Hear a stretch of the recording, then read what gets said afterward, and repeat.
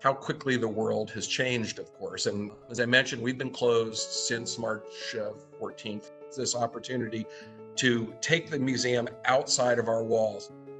So we've really leaned into beefing up our virtual resources. What's most exciting about this time is figuring out new and creative ways to reach out to people who might be really hungry for exciting learning opportunities. Today, you can celebrate International Museum Day with a virtual tour of one of Philadelphia's finest. The Museum of the American Revolution will have a virtual program today to celebrate Juneteenth. Well, the 4th of July, of course, is this weekend. We're hoping to not just bring you all back to the museum to be physically present here, but we hope to uh, develop hybrid events. This is a government of, by, and for the people. That just shows that I think historians haven't paid enough attention to the revolution as an innovative and pioneering period.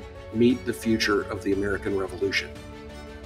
The Museum of the American Revolution is now back open. Everything here in the museum is open. Today is a chance to celebrate Indigenous people. The museum is hosting several events to honor veterans. This is the first time that this location has been a polling site in Philadelphia. Can't think of a uh, cooler place to cast a ballot than that museum. The Museum of the American Revolution will honor Dr. Martin Luther King Jr.'s life and legacy.